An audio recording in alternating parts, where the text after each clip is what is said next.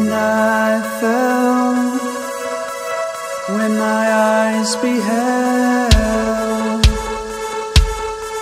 and I knew.